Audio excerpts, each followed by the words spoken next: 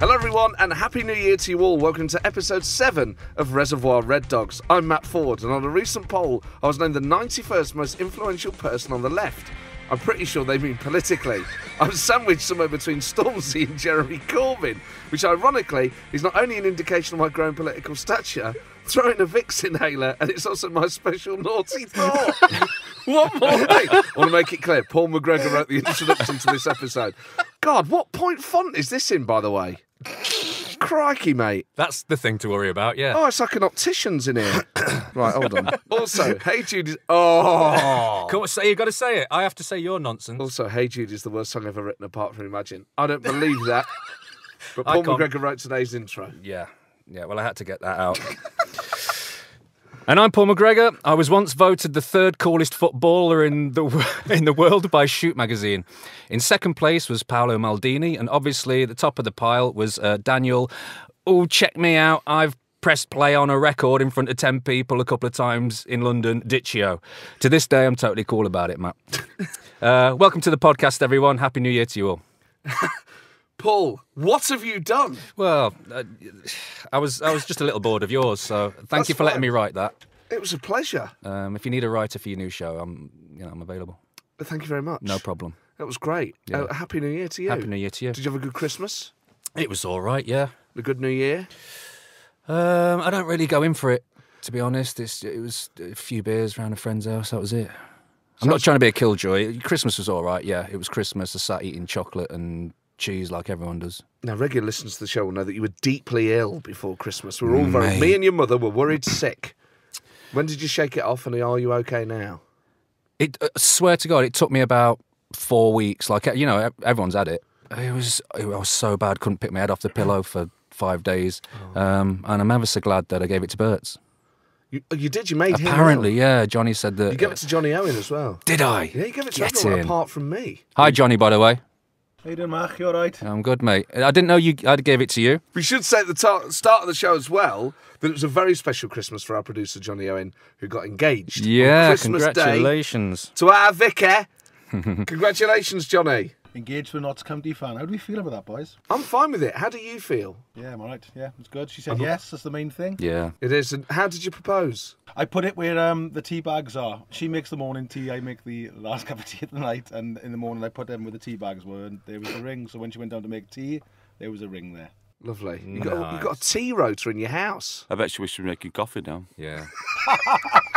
Are you going to introduce the guest or what? We are, we are. I was just getting the getting the admin out of the way. Our guest today is a true Forest legend. He scored the winning goal in the 1990 League Cup final. He is Nigel Jemson. But suddenly Clough's way up forward now, and Jemson with a chance for Forest. He's done it! Forest have snatched the lead. With Nigel Jemson, the manager, quite unmoved, the goalkeeper quite perplexed, and the fans absolutely overjoyed. Nigel, morning. wel- good morning, Morning, and welcome Gemmo. to the show. Thank you very much. We are delighted to have you here. Delighted to be here. It's always a treat when, when we get people on here that, that we remember watching play. And I remember watching you for many years at Forest. I remember meeting you at a, um, uh, you know, those Forest Junior Reds Open days they used to do in the executive stand car park. Oh yeah, there's a f- Mick Rayner used to take us there, didn't he? I think it was. Yeah. bless. Didn't you enjoy it? Yeah, of course you did. Yeah. Especially after a night out. I mean, it must have been slightly monotonous for you, just sat there behind a desk signing autographs all day. No, it was it was delightful to do that, especially the kids coming up and uh, wanting pictures taken, and it's part of possibly your job, isn't it? You know, without those people coming to see you, you know, what are you? You know, you're, you're nothing, aren't you? Really? And that is the party tagline. Sat there with a hangover, queue of. Yeah. Is that the way to get people. through it? That's the way to get through it, is to do it, have a big night the night before, and then you can just sort of The Black through it. Orchid Pill, it was called. What, the one near the showcase? yeah. Oh, By the way, the worst rebranding of all time. ISIS, it called itself. Oh goodness me! Couldn't have gone worse, could it? then it was sen- senoritas after that, wasn't it? it was, yeah. Not that I go. Yeah, I think it's Boko Haram now. They've really, they've really uh, chosen the names very badly over the years on the uh, Lenton Lane Industrial Estate. But was that the main haunt then, the Black Orchid? Yeah, the only only Thursday, Saturday, Monday nights. That was all though. Yeah. Was it? I mean, I, it's becoming a running theme on this show, asking what it was like to play for Forest in terms of the social side of it. Was it still a, a hard drinking culture when you were there? Um, yeah, obviously playing on a Saturday, it wasn't as if you had to obviously drink water for the rest of the night and be in first thing in the morning. We never we never trained Sunday morning. Well, we didn't train Monday either, I don't think. but um, no, as soon as we finished the game, we had a, a couple of pints probably in the Jubilee Club at the time.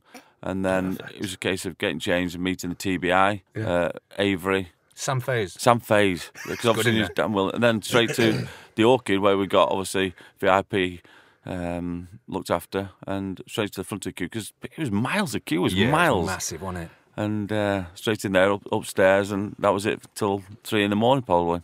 Oh, the good old days.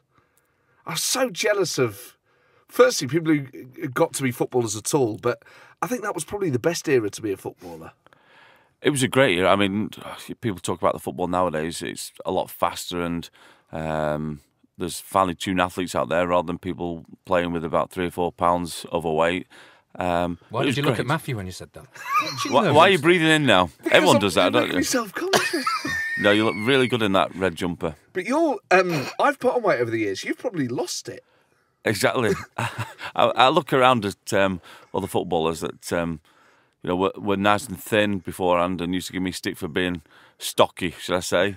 And I look now at um, people like David Hirst, who's well overweight, and uh, I feel quite good about myself, to be honest. So um, But did you, um, did you back then? You got a bit of stick for your weight. You were never ludicrously overweight.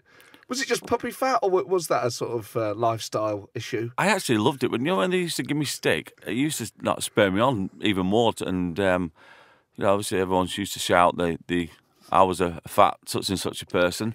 Um, but it did. I used to roll my tummy and you know rub me. Uh, it was great. I loved it. I can remember one game especially. Um, I think I was playing for Shrewsbury against Oxford, and uh, we won one 0 and I scored. And it must have took me ten minutes to walk back from the you know to the halfway line. I just loved it. Uh, but I had to get police escort out of the ground at the end of it though. But did managers ever say to you? Did Cloughie ever say you got a bit of weight on you, Nige? Or were they not that bothered? Well, most clubs you you got weighed. Uh, Nottingham Forest, Liam did it, and we found way of cheating by Leaning on the table. leaning something like that, or taking one leg off or one leg off. Um, but the worst one was at Sheffield Wednesday because we had a culture in there that was a good banter. But we used to have bacon, sausage, and eggs every morning. So Trevor decided to weigh us every Monday and Friday, and it was really for three people because it was myself, David Hirst, and, and someone else that the ones that put Chris Woods, I think it was, who put weight on. The rest were, were fine about it. But yeah. when could you enjoy yourself? You couldn't enjoy yourself during the week because you got weighed on Friday, and the weekend you're panicking for Monday morning. It was horrible. But uh, I mean, it, I suppose back then it wasn't. The the demands on footballers now have probably transformed even in the short time since you stopped playing. Back then, you could still sort of get away with it, could you, without people being outraged? Yeah, absolutely. I mean, you carry one or two or three pounds, but um, I don't think you could do much more than that. I don't think. But nowadays, it's a business, isn't it? It's more than a sport. You know, you're getting paid that much more money now that, you know, like say the body fat was when I was playing. I, was, I think best I was on was about eleven percent. Nowadays, you've got to be under about five or six, I think. So um, What do you I won't be I'm able to play now. What do you reckon I'm on? I think if you reach above certain, I think it's thirty percent, you become obese. you really, really delivered that. No, I didn't say that's you. I'm just saying There was that's- venom behind that, That wasn't there? was, yeah, real work behind the jab. I won't mind cuddling up to you in the morning. Give me a right. I'd be more than happy with that now. Oh, don't get him started. Good God.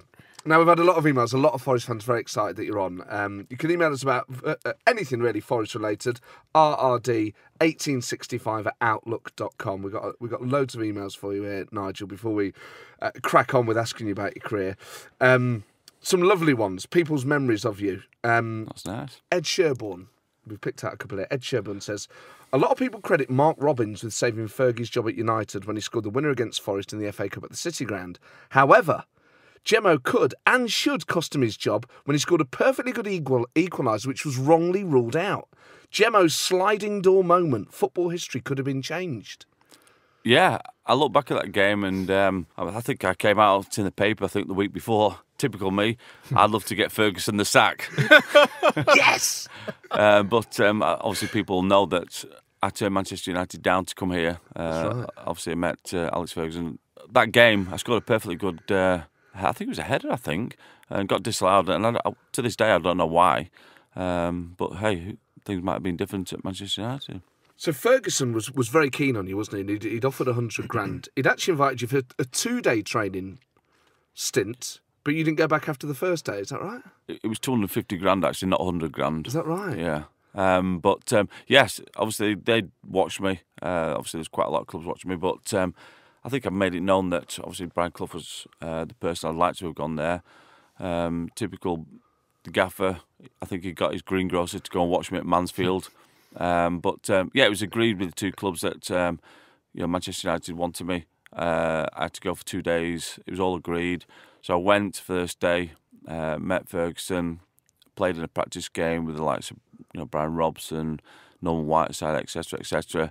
And I came back. Uh, obviously, the phone rang that night, and um, I answered the phone, and this voice at the end saying, "Is that Nigel?" I went, "Yeah." He said, uh, "I believe you want to come and sign for me." I went, "Yeah," and I'm thinking, which players trying to take the mickey here because that's what footballers do, a bit of banter. And uh, I said, "Yeah, I'd love to." He said, "Good. See you tomorrow morning at nine o'clock. Don't be late." And put the phone down. So that was my introduction to Brian Clough. Um, so I didn't turn up for the second day at Manchester United. Didn't even well, I didn't even acknowledge them. Didn't ring them up or anything.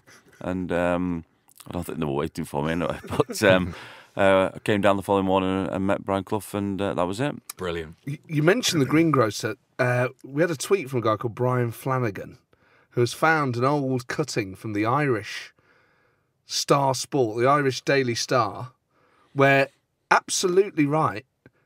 he says he signs you on recommendation of his greengrocer. The headline is Clough's Blind Cheek. And this reads by Dave Armitage Brian Clough left Alex Ferguson fuming again yesterday by paying a quarter of a million for a player he hasn't even seen.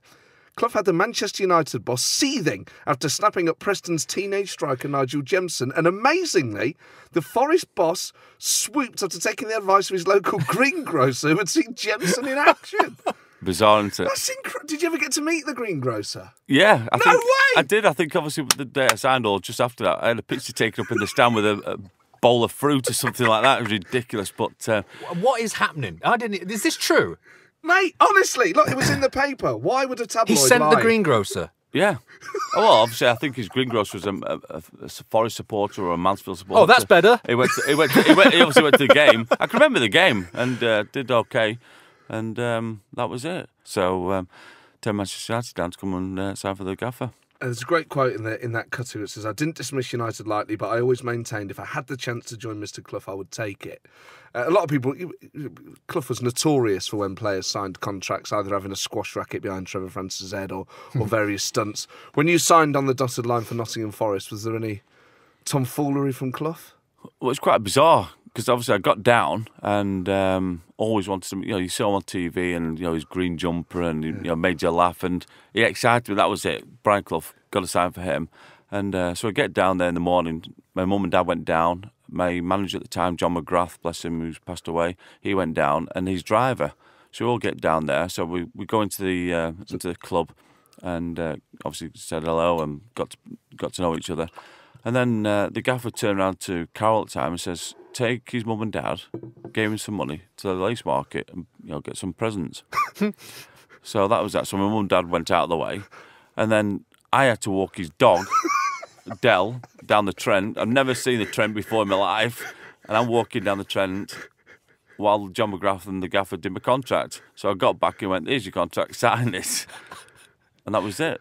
So you're taking his dog for a walk. Did they say make sure you're gone for an hour or half an hour or? No, I just think Just take it for a walk. I don't. I don't. think- By this, what our contract got, I don't think he took an hour to sort my contract out. they could have done it in five minutes. Because you used to walk his dog, didn't you, Paul? Religiously, yeah. Yeah. Don't bring him back until he's done his business. That's what I used to get. It was a lovely dog, though, It's a lovely dog, really nice, yeah. A golden retriever was it? A sort of Labrador type thing. Golden Retriever. Yeah. Yeah, that's right. I, I just, I bought one myself after it. It was lovely. Inspired by Yeah. Dell. Yeah, What did you call it? Henry.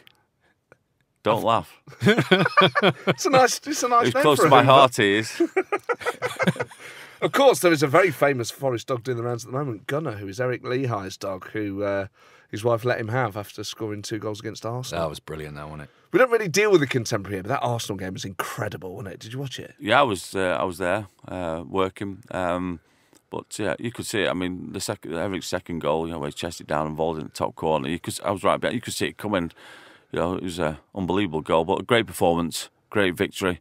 Um, you know, people say, well, it wasn't their proper first team, etc. You, you'd have to beat what's in front of you, and uh, you know, to get that result was was great feeling for the fans. It was bonkers. I was in the A block and I haven't felt the Forest ground like that for years. It was like it felt nostalgic actually. Beating Arsenal comfortably, they weren't even in the game. It did remind me of the period that I grew up in, going to watch Forest in the in the side that you played in, comfortably beating big teams. It made me want to put my boots on again because Mertesacker was that slow that it made me look like Carl Lewis. you heard it here first. Jemson, it, it was free signing in the win. The window's open. He's a World Cup winner as well, isn't he? Can't believe I'm saying it. it was great. So, what were you doing working down there?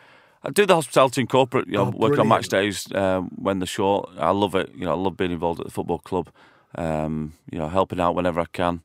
Um, you know, it's a club obviously close to my heart, and it's someone that I've, you know hopefully I'll be able to work full time for in the future. I said it was that day especially was just so excited. There was a real air of nostalgia about it. I'm not sure if that's just me. There is a good feeling around the place at the moment. There is a genuine positivity about. it. I tell you what's incredible. Just think about that story of you, you contract and walking the dog. No agent there. No agent, no. Pardon me. I think that was a slight. Was you that all right? audible? Do you need me to rub your belly? Was it? Would you like a Rennie? Was it? It's just What, an what, internal gripe. what- what- was that an earthquake? Was that, what, what It's scale just was a- that on? It was. Um, What did you have for your breakfast? I had a New Yorker sandwich. It's too much. Bacon, turkey, cheese, lettuce, tomato. And you wonder why you look like that. Mate, come on! I don't look that bad, do I? No, I'm deflecting. I tell you what, if I, if I, if my posture, I just got a bit of a belly. I know it's hard. You know when you get older, it's the hardest thing to do is to lose weight. I'm 35. Really? That young? you make me feel great. I'm 48 and I feel fantastic now.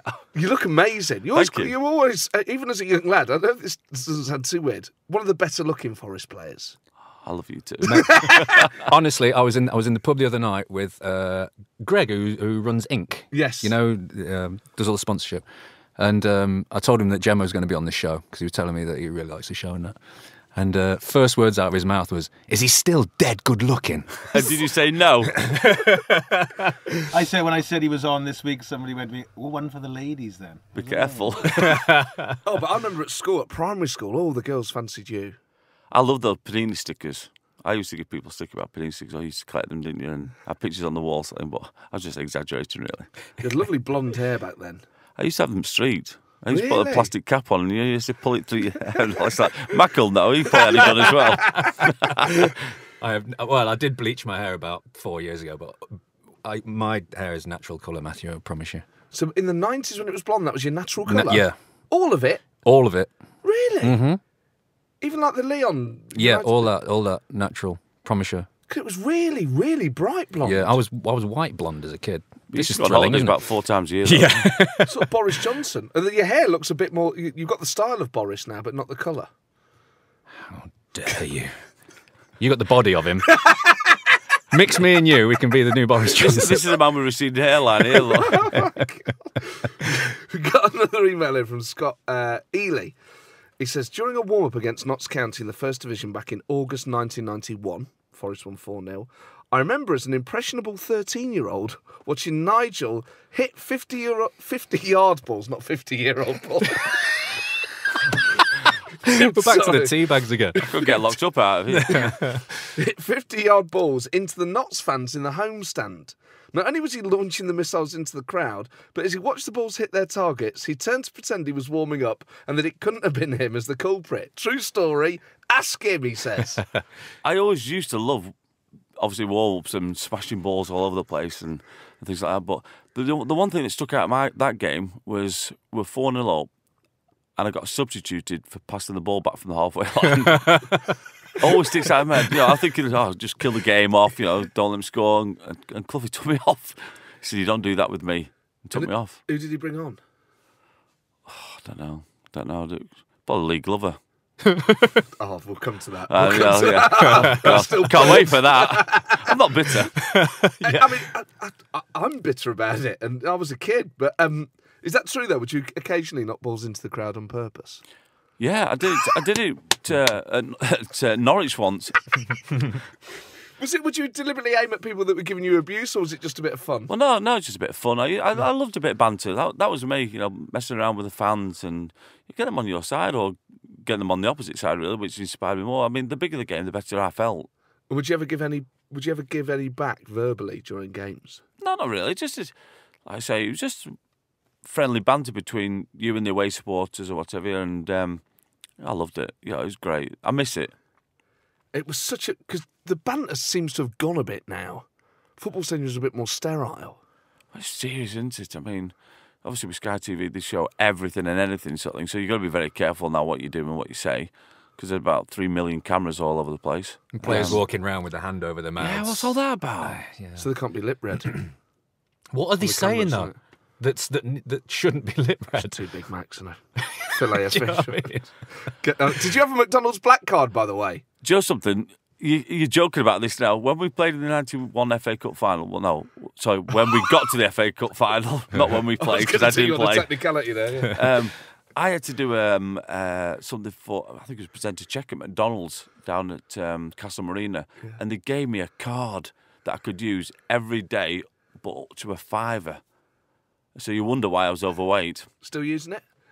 Obviously not now, no. I think I found it. Yeah, but it's not 55 quid. wow. No, I, I, uh, yeah, but I mean, you use it so often you get a bit sick of it, don't you? Something so I know, but what a thing to have. that was great. What other what other perks did you get? Um, I can't remember too much. Honest, I mean, football gear. You used to get a lot of football gear. I mean, used to uh, be sponsored by Diadora, and I used to get shed loads of stuff like that. But uh, Did you get a motor? yes, I did. I did. Yeah, my first car was a Ford Escort. Nice. Um, and then I changed it to an MG Mini Metro, I think it was. And then I signed a, a a new contract at Forest and I got a BMW and I thought I was a dog's bees. Honestly, I used to drive around in this red BMW and my number plate was H10 Gem. Amazing. And, and it used to go on the, uh, you know, the fan zone thing, the, the, the brochure they used to take the mickey out of all the players. I was on there on, on the on front page there in this car with my tracksuit on, arm out the window with a car phone. It, it- honestly, it was hilarious. Oh, but uh, I used to love it. It love it. must have been the temptation to just really revel in it all and just uh, you know get beamers and slightly go mad. And obviously, it's very the the sheer amount of money that young players are earning now is, is off the scale. And there's a, a, always a level of moral outrage about it. But you're earning good money at a young age there, relative to, to people who aren't playing football. How hard is it to keep your feet on the ground? Well, you look at it, and we're talking about. I was. I got this red BMW at a 318 IS, I think it was, when I was 19, 20. Now them, they can they can buy three a week now with the money they're getting. You know, they. I think money's thrown at young players too quickly now. Uh, there's not no incentives and no hunger to um, progress. Um, but that's the way it is, unfortunately, with footballers now. Isn't it? You There was know, a real there was a real fear with Clough though, wasn't there? Like and, and, and Archie and, and Liam that if and Ronnie Fenton And and, Alan yeah. Hill and all the others. yeah, there was a little bit of a culture of fear that if you did anything flash or you know you stepped out of line, you got put straight back in your place, didn't you? especially being a youngster, yeah, and Yeah. obviously that's why Cloughie always used to call me Big Head. You know, I've got a bigger head than him because I was this confident person that, you know, I did have success at a young age, but he did try and he tried everything to try and keep your feet on the ground, and there was that fear with him, wasn't there? Of Yeah. You know, you stepped out of line and you knew it. It was just a good feeling, wasn't it, around there? You Yeah. know, you, if you were injured and you were limping, you make sure that the gaffer didn't see you because he'd, he'd go mad at you or. For being injured. well, you're no good to me, something. But uh, you know, you, the game has changed so much. I mean, I can remember going to Sweden on a pre-season trip, and um, we we're playing a game, and obviously I was on the subs bench. Seems quite familiar that, but um, there was about five of us there watching the game, and then we looked around. There's this hot dog stand, you know, just around the corner, and uh, Cloughie turned around to me and says, "Do you want a hot dog?" I was thinking, "What's he on about?" playing a game here, and uh, he gave me some money to get the lads a hot dog. So we were watching a game pre-season, eating a hot dog you know, in the dugout, and uh, one of the lads goes down injured, and obviously had to come off, and he won't put any of us on because we're getting indigestion. and this is pre-season. Priceless. Amazing. I still love a part of the. A hot dog. Yeah, you were I gonna love say. a hot dog, and that that's that's Not a still- surprise, Gemmo. That is. What was it? A ten footer? Those ones that used to sell on Long. Trent Bridge. And that guy, do you remember the guy? I don't know how much as a player you notice what's going on in the crowd, but there used to be a bloke who had like a mobile stall down at the front of the main stand. So not pitch side of the wall, the other side in that sort of ditch in between The dugout. the then. perimeter wall, yeah, and the thing. And it was like a mobile trolley, and it, he would sell like Bovril and hot chocolate and grab bag sized crisps. yeah. And he had like paperboy's gloves on. I used to spend a fortune on games like this. Hot chocolates and Bovrils. Well, to be fair, he only served you and then went home. He made his money. That's my personal concierge service. Uh, we've had a number of people. We, we found out last episode actually, lots of people around the world listen to this. People in New York and Thailand and all over. We had a message on Twitter from the Toronto Trickies. Oh, come on. supporters group in Toronto. Do you remember ex uh, Forest player Jim Brennan? Yeah. Yeah. Played Forest in the noughties. He's out there now and regularly meets up with them. We had a message from a guy, Steve Ball, who's a, who's a big in the Toronto Trickies. Says if we want to do a show in New York, we can double it up with a trip to Toronto. Come on. It's on, right? It's on. All expenses paid. Well, that's that's the that that currently is the Johnny. that's currently the problem. Well, you've got a big new TV show happening soon, aren't you? You're going to be as famous as Elvis, and I can't bankroll all this though. of course you can. Come on, it's just numbers. We could do it as a holiday. What? Hmm. No, I need. You've need. worked I'm- with me, but you won't go on holiday with me. We'd have a great holiday. we would have a good holiday. Go there in wouldn't a forest kit. Oh, stop it. McGregor Shin pads. back. Oh, shin pads and that. It'd be It'd take him it? ages to rub oil on your back. I'm not as fat. I just want No, to make, you're really not. I think No, we should you- qualify you- that. no. Just have a bit. What, what, what, You're thin fat, aren't you? You're thin fat. There's a bit of You're chunky. yeah, in the nicest, in a nice way. yeah. Yeah, Cud- cuddly. Uh, Talking of holidays, did you ever go to Cala Millor? Oh, Cliff. Yeah, loads of times. It was a fantastic place that was. We took over the place, but we went actually after the cup final when I scored, and uh, it was on. I can just remember saying, "That's me." Brilliant. um, but uh, no, it was a great, great place to go for a few days uh, pre-season training and stuff like that in the bar and on the beach. So what was it? Was it a, was it like a villa that he owned, or was it just a resort that he visited, Clough? He got, I think he got one. I'm not sure whether Ronnie Fenton's got one. So someone else had one. So obviously it was a regular jaunt to go over there. Um, but we stopped in a hotel, so yeah, we we didn't go anywhere near his apartment. The whole squad. Yeah, the whole squad used to go. You know, he used to tell us on a Wednesday, Thursday, saying, "Oh, by the way, we're going away. Pack your bags on Saturday after the after the game," and that was it till Wednesday, Thursday. What a treat! Oh, I, went, I went once, and I, uh, Steve Blatherwick saved my life. Sounds like a Mills and Boon. What happened? we were we were in a bar and some some lad just took a disliking to me. I've got that kind of face, and back then, you know, I had the hair and all that kind of stuff. And some lad just wanted to beat beat me to death. obviously my best friend Mark Crossley. You know, the only time we've ever had an argument was over there, and we got friendly with these two brothers, twins, I think they were, uh, that play music, and The Gallagher's.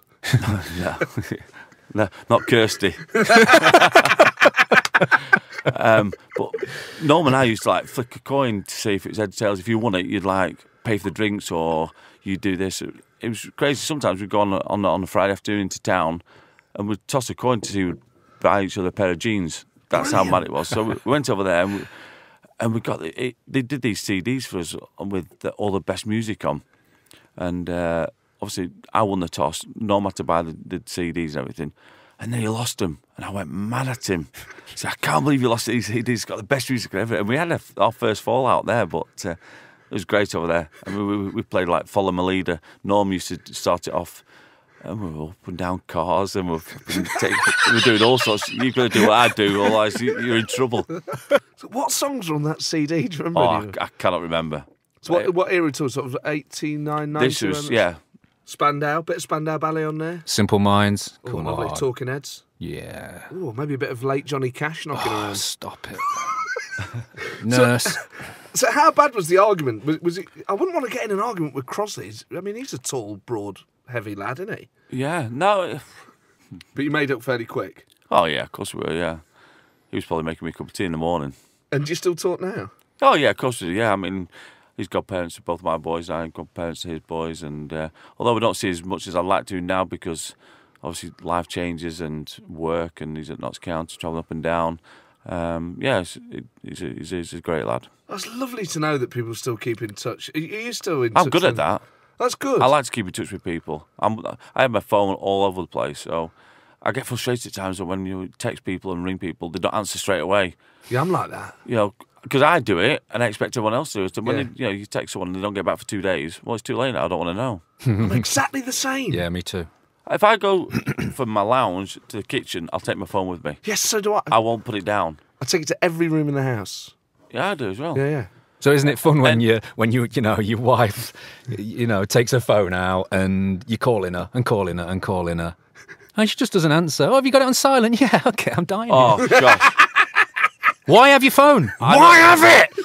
I know someone exactly the same, and it drives me potty. Now, we do a regular feature called Number One is Brian Rice, where we go through uh, retro, retro Forest chants. The time, bear. Time for this episode. episode's number one is Brian Rice. Number two is Brian Rice. And number three is Brian Rice. And number four. Now, this is an email from Lee James. It says Gemmo was the subject of the first Forest chant my dad taught me. I must have been about six years old, and it stuck with me ever since. You fat. No. Now, this. Uh, now, we should. I'm going to actually read the end of the email before doing the chant. It says, At the time of learning this chant, I was also attending Sunday school, where the tune of this chant was sung regularly. You can imagine me changing the words to the Gemmo version didn't go down too well. So, this is a, this is a hymn that had been reworked. I don't know if you remember this. My eyes have seen the glory of the coming of the Lord. Number 10 on his back, many goals he has scored. His name is Nigel Jemson. He's the finest in the land, and the Reds go marching on, on, on. Never heard that before. I've, never, I've not heard that. No. I like it. I love it. It's Yeah. great, isn't it? I love it.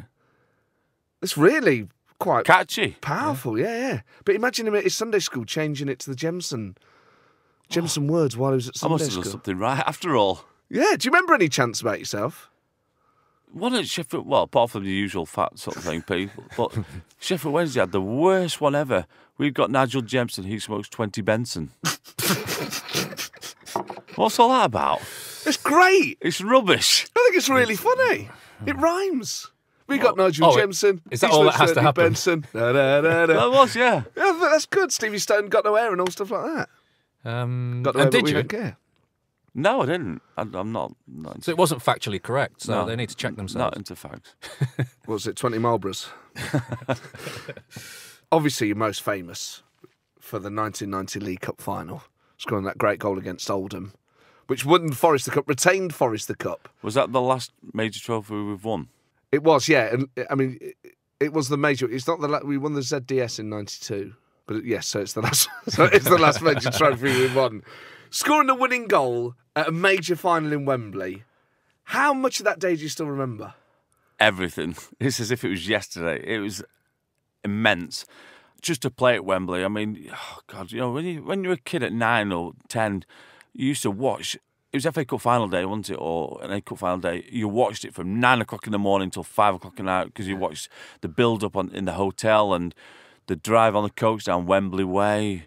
You know, people turning up in, in the suits, walking on the pitch, looking around. You watched everything. You were glued to it Yeah. and uh, and that was the reason why you wanted to be footballers. It wasn't the case of how many houses you got or whether I was driving a Bentley. As much as I'd love to drive a Bentley, I'm not.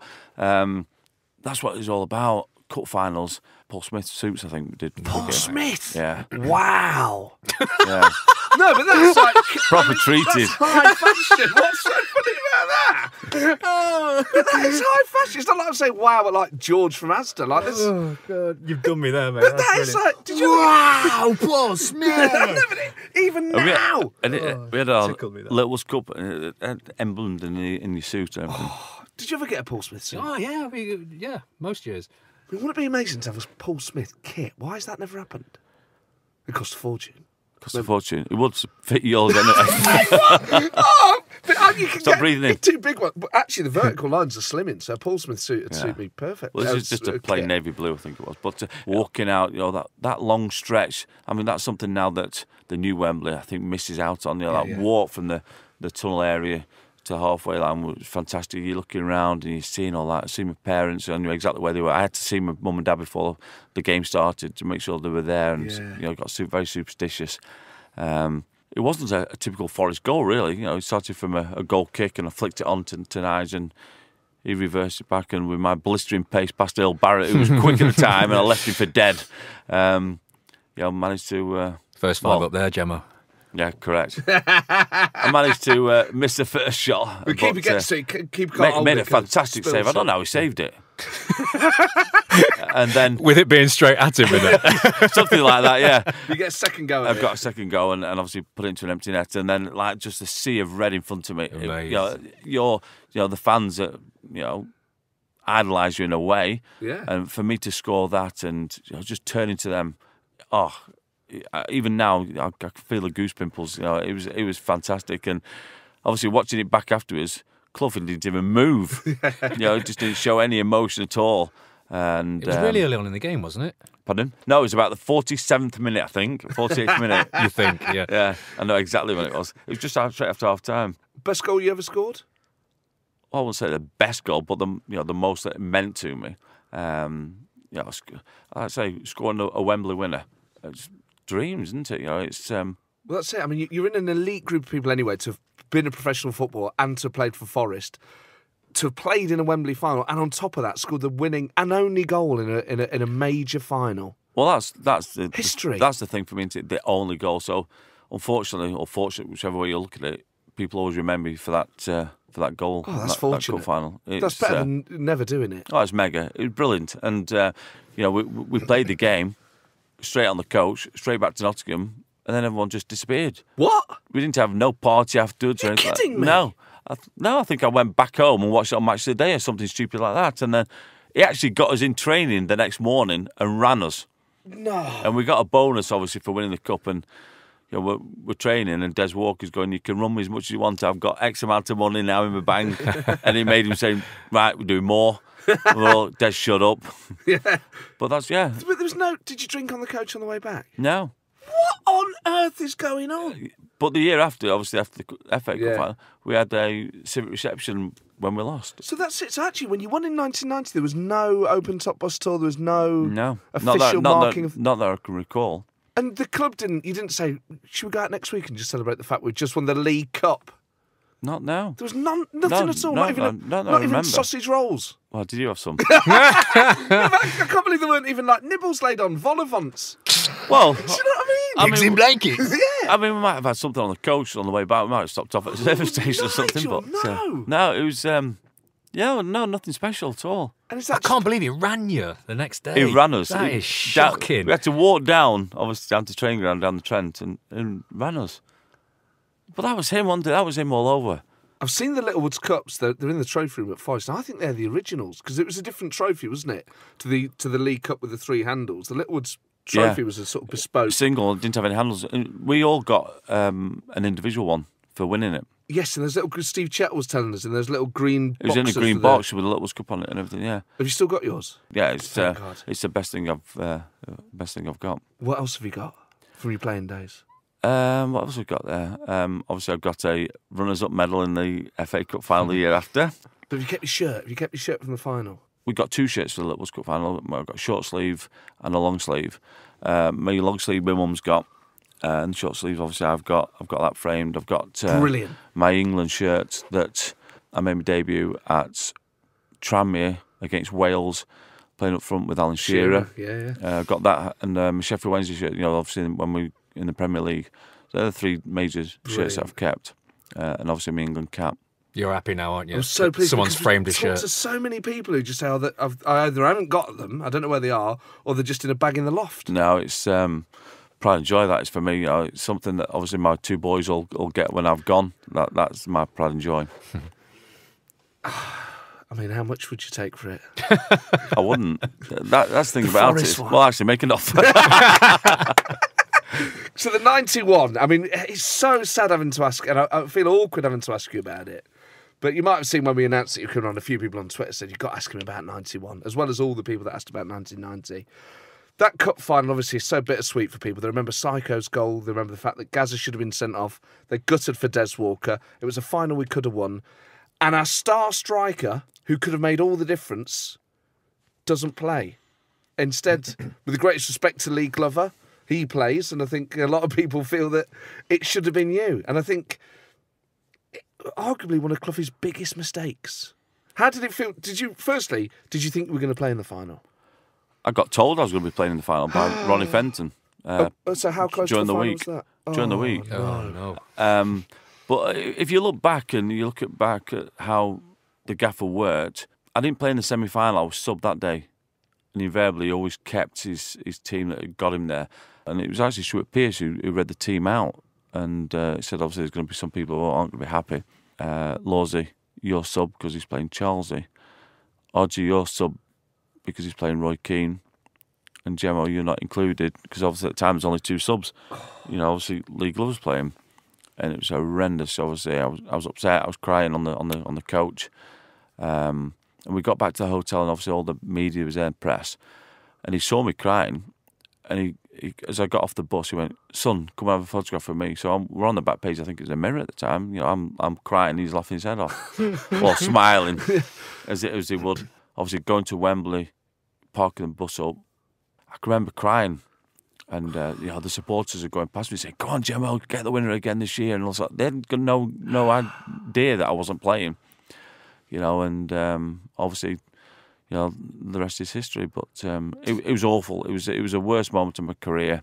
Did he ever explain it to you, Cloughie? Did he ever say, "Look, I did it because of this"? Well, it's funny because he didn't. No, um, but every time we went to um, an after dinner where he was speaking or whatever, do you know when you sat around the table of eight and there was always um, cards on there saying, you know, write down questions you want to ask the gaffer.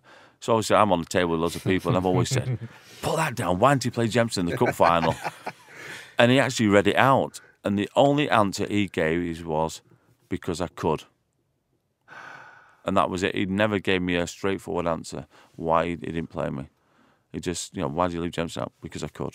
And that was it. But, I mean, again, supporters, it's all about opinions. Whether would we have won if I'd been playing? Who knows? Never, no one will know. But I still think, and I think majority of Nottingham Forest supporters would have Yes. said if Brian Laws, Steve Hodge, Al Jemson would have played in that cup final, we'd have won it.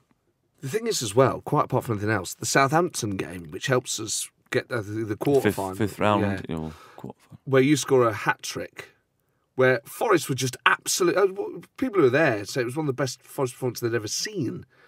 Everyone was on fire. So that great goal where Pearce goes galloping down the left wing, cuts it in for you, and you stick it in the That, top that, corner. that was my third goal. rampant. Yeah. I think I took a penalty as well, I think, if I remember right. I think that's right. Yeah. um, where really I shouldn't have done it. It should have been Nigel's. And I just grabbed the ball, you know, being confident I was. And I think it was just before half time. I thought, if I miss this, that's it. I'm not coming out for the second half. But I, I stuck it away, luckily. And then we played Norwich, I think, in the quarter final. Uh, we that's won- right. Roy Keane scores. And I set, I set Roy's up. We won 1 0, I think. Well, actually, it's funny because Roy Keane, for doing a forward roll, I think, took a clump from Cloughie uh, for that. He Well, said if he all- wants a job in a circus, if he wants to be a clown, I'll get him a job in a circus. And I think um, give him one in the guts. Cloughie whacked you one, apparently. Is that Yeah, right? yeah, After a game did, at yeah. Derby. Yeah, well, it was a reserve game. Yeah, one of his pet hates, was- and you'll know, Maka, was uh, if as a as a winger or a forward player, and you put a cross in, and it went behind the goal, he used to go mad. And Or uh, it hit the first yeah, first the defender. first defender. I tell people we're sat in a pub watching a game. a- A winger will put a cross in or a corner and it's the first defender. I, I always sit there going, I'd have been dragged off for that. I'd have been taken off the park for not missing that first defender. But you you realise now how annoying it is. Yeah, it's dreadful, Yeah, I hate it. We came on. I think we were losing one 0 at the time in the reserve game, and obviously uh, Derby wanted to win the game. And we got back to one one, and then last couple of minutes, I put this crossing behind the goal. I thought, oh God, I'm going to get it now. He always used to have a tennis ball or a cricket ball, and he used to just like throw it to people. You had to catch it, and you had to amuse him and chuck it back to him and stuff like that. He got this cricket ball, I think, and I knew I was in for it when he the venom he threw it at me, and I caught it, and then obviously I, I gently threw it back to him, and then he just said, "Son, stand up." So I stood up and he walked over and he went, Son, have you ever been hit before? I went, No, boss. And then he just whacked me in the stomach. He said, Well, you have now. You're a disgrace. Your mum and dad should be ashamed of you. Oh my God. Um, and that was that. But the next morning, we used to go to a cafe just around the corner from the ground called Mackay's. And we always used to go there for our muesli and stuff. okay, the bacon, eggs, and everything. And um, I got approached by the Mirror. Uh, a fellow came in there. I mean, this is the morning afterwards, and um, it'd been leaked out, and I know who did it. It was one of our players at the time. He offered me ten grand to do a story on it, and I just said, "No, not true, not true." And I quickly drove back to the ground and knocked on the gaffer's door and uh, said, "Look, obviously I've just been approached by the Mirror to a, you know an interview on what happened last night." He said, "What did you say?" I said, "Nothing." He went, "Well done, son," and just left me. That was it. Give you a left up. Hit me properly this time. Twice. So, um, yeah. So ten grand back then. How, how, how was that as a proportion of your Well, I was, wage? I was massive, wasn't I? You know, I was probably on about six hundred pound a week then. So it was a big. I mean, it would be a big amount now to turn down, but Oh, it was really yeah. life changing back then. But it would have been life changing if I'd have done it because if I'd have sold that story, then my career at Forest would have been finished. And uh, but it, know, like I say, I would never, you know, whatever good or bad, you you know, you wouldn't go back to the paper about Brian Clough anyway. But when so when you tell your mum Brian Clough's just punched you in the stomach, did she say? I'm going to have to have a word with him, Nigel. That's just not on, or was it just accepted that this? I think she probably his- said you deserved it. That's exactly what my mum would have said as well.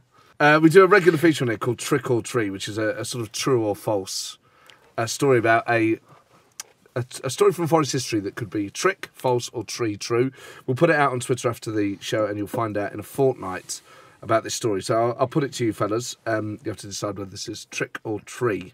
Have you read the result of the last one yet? I can't remember the last one. so trick is false. Yeah, and tree is true. Would you like me to Right. read it out for you?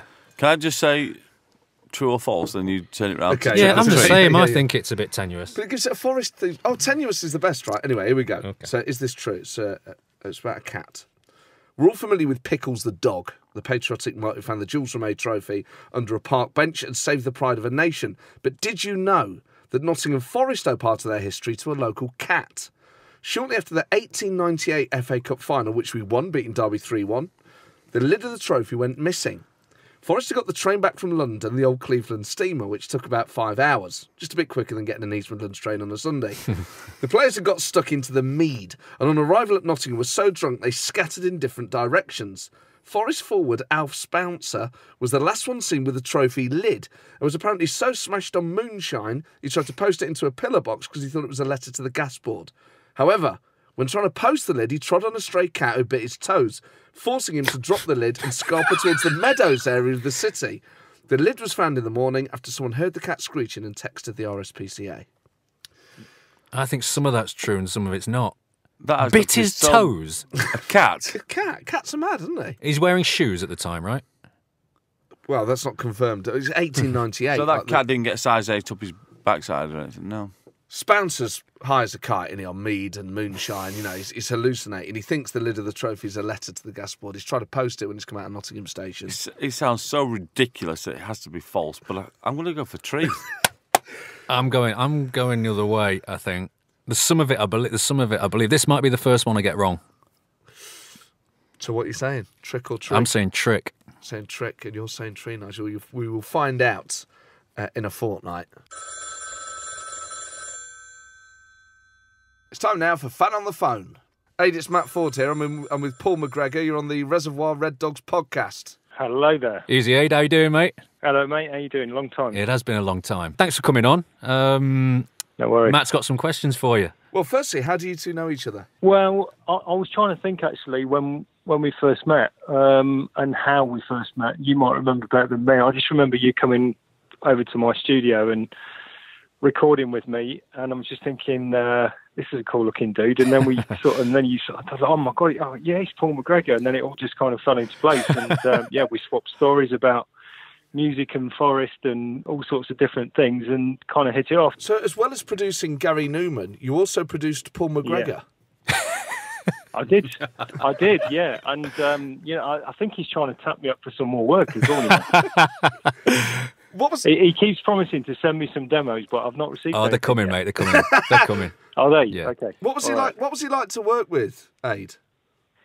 Just cocky, mate. I mean, honestly, I'm sat with Gemmo here. Come on. look, Joe, I mean, Joe's a legend, mate. But um, you Thanks, know, Ade. yeah, I was at the League Cup final in uh, 1990, so you know, you know, Paul McGregor wasn't. You know, what can I say? No need for that. Jeez.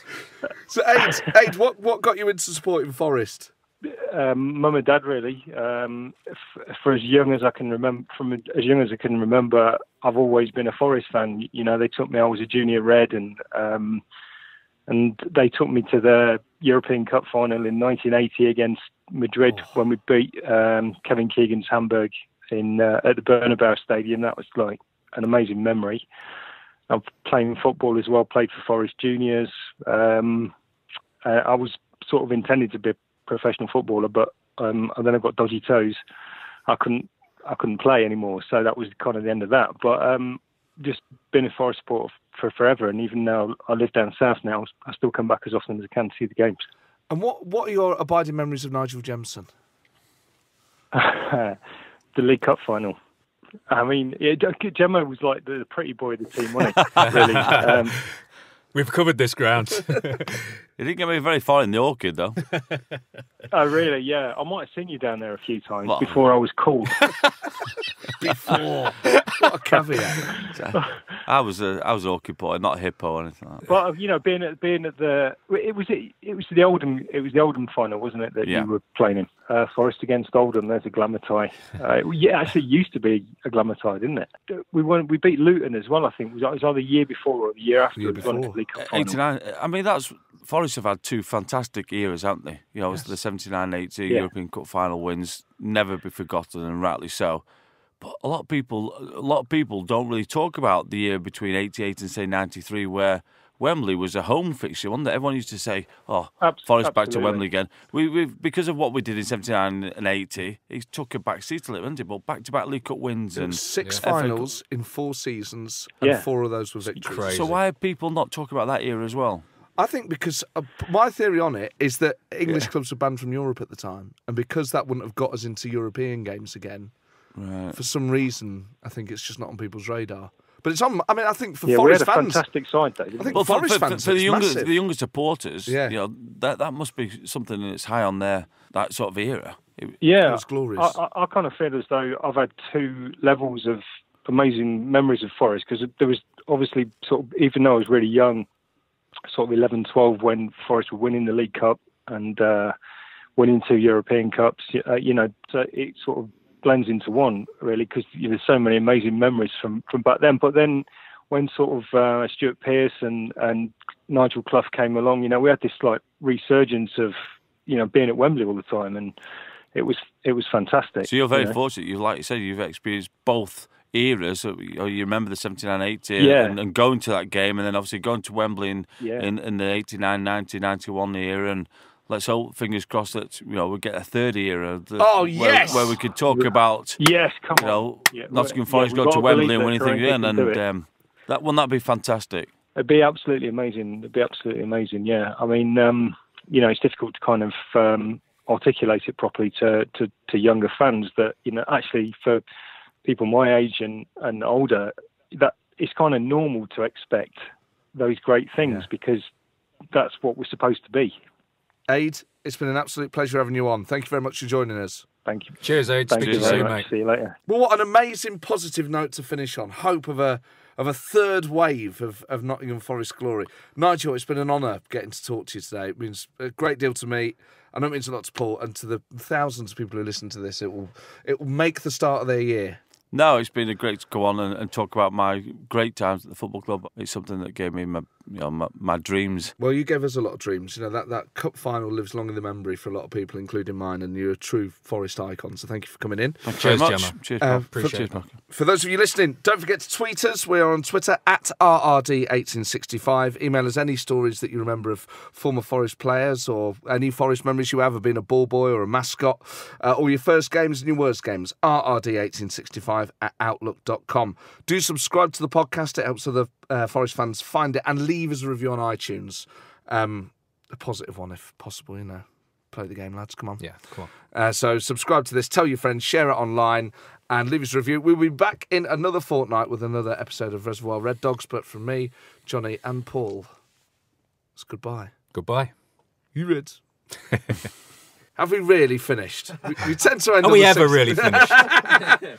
Right, two, three, four. My I've seen the glory of the coming of the Lord. Number ten is back, many goals he has scored. His name is Nigel Jemson, he's the finest in the land, and the Reds go marching on, on, on. Jemo, Jemo, Jemo, Jemo, Jemo. Brilliant. Well. Well done. Super. Very good.